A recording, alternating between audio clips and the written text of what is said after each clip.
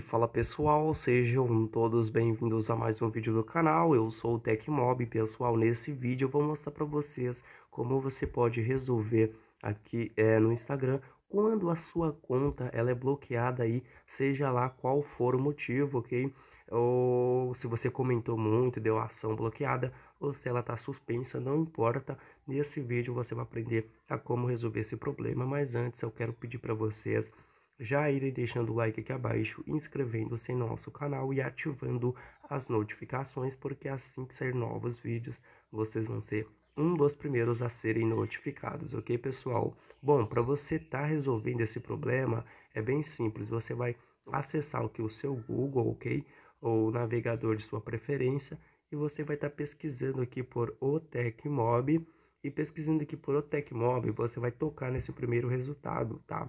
Clicando aqui no primeiro resultado, você vai ver e vai acessar conta do Instagram bloqueada e acessando essa guia aqui, você vai rolar para baixo até você chegar nessa opção aqui de recuperar conta bloqueada e você vai tocar aqui ó, em guia ajuda da meta, ok? Ele vai te levar para essa guia do Facebook, tá?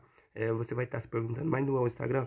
Porém, o Instagram e o Facebook, ele faz parte da mesma empresa, tá? E como vocês podem ver aqui, ó, minha conta do Instagram foi bloqueada, ok? Então, ele leva você para uma guia do Facebook, porém, é, é para você resolver o problema aqui do Instagram. E aqui você vai preencher com o seu nome completo, o seu e-mail, seu nome de usuário do Instagram, é, o seu número de celular. E aqui você vai informar o motivo que sua conta foi desativada, vai estar tá solicitando a reativação da conta, ok? Então vocês é só clicar aqui por fim é, em enviar e você vai estar tá resolvendo o problema.